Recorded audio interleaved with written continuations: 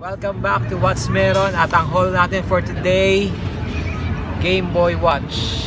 Kung kayo mga 90s kid alam ko nagkaroon kayo ng Game Boy dati nung elementary tayo at naglalaro tayo nito madalas at dinadala natin to sa school. Naalala ko nung bata ako wala akong Game Boy so nakikilaro ako sa mga classmate ko. At maglalaro ako ng Rockman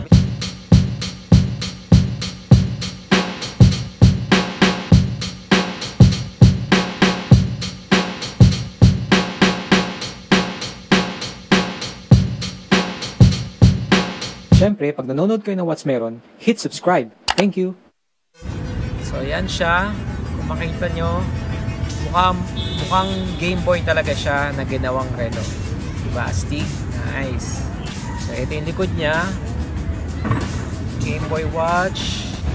So, buksan na natin siya ngayon. So, ito yung box niya. May kasama siyang instructions instructions niya kung paano niya siya i-operate.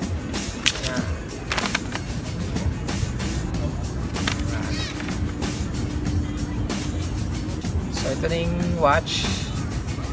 Ganda, di ba? Buksan na natin. Totoo lang, ayaw ko talaga siya buksan kasi nga ang ganda niya. Ayaw ko siyang tanggalin sa box. Gusto ko lang siya display pero para sa inyo binuksan ko siya para makita nyo kung paano siya gamitin kung ano itsura niya talaga. So ngayon buksan na natin. Uh, voila! Ito na siya. Plastic siya.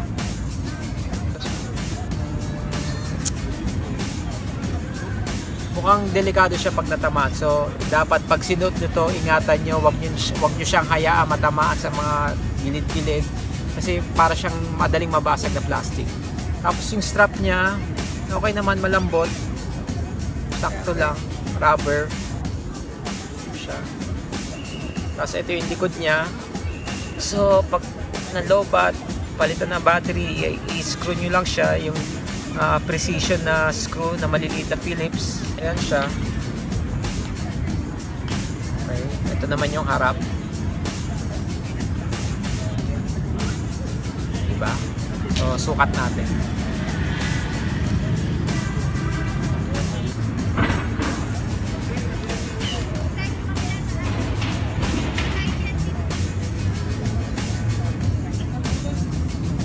Oh, diba?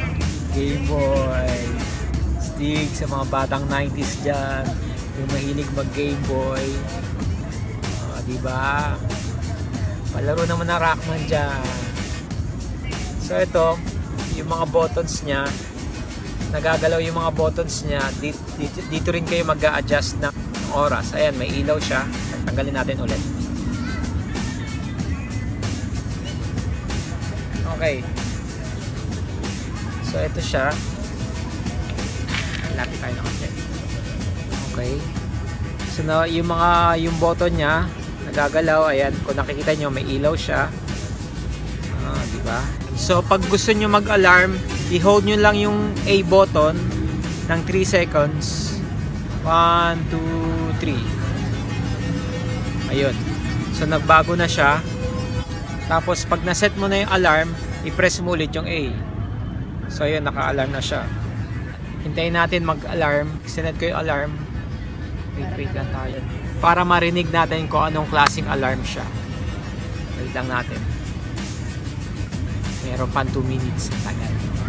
So itong relo ko, goodbye. Goodbye, old watch.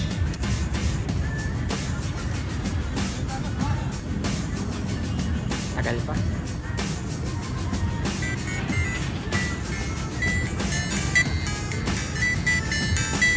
So, yan yung alarm. Medyo mahina lang talaga.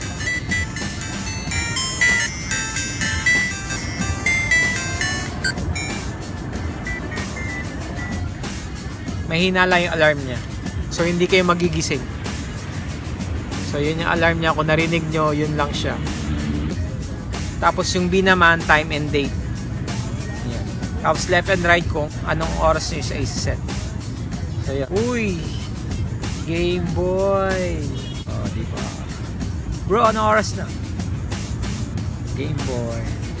Hindi ko makita yung oras, so lalagyan mo ng ilaw. So yun, sana nag-enjoy kayo sa ating Game Boy Game Boy Watch ng Paladon. Napaka-astig nito. Collectibles. Parang ayoko siyang gamitin. So hanggang sa muli, kita kits. Bye-bye. Hello guys. Nakakalungkot kasi yung Nintendo Game Boy Watch ko nawala. Nung araw na mismo na vinlog ko siya. Kahapon, August 18, 2019, Sunday, nandun ako sa BGC. Yung relo na iwan sa cubicle sa CR sa second floor sa Uptown Mall sa BGC. Kung sino man na nakakuha sa inyo ng Game Boy Watch, sana makita nyo itong video. Kung, kung may gininto ang puso kayo, pakibalik na lang sa akin medyo masakit kasi bago bago pa yung watch hindi pa siya nagagamit. Kita nyo kaka-review ko lang siya sa kanya kahapon. So yun na yun na yung ano alaala ko do sa watch na yun. Pictures na lang tsaka yung video. Sana kung sino man ang nakakuha sa inyo kung sino ka man ma ma mapanood mo tong video na to sana ibalik mo na lang sa akin message mo na lang ako yun lang ang lungkot. Ang lungkot kasi nawala yung Game Boy Watch ko. Sana nag enjoy pa rin kayo sa review ko ng Game Boy Watch. Ganda, ganda talaga siya. Gustong gusto ko siya. At sa nakakuha ng watch na yon balik na lang. Please please please please. Kasi yung thank you guys. Thank you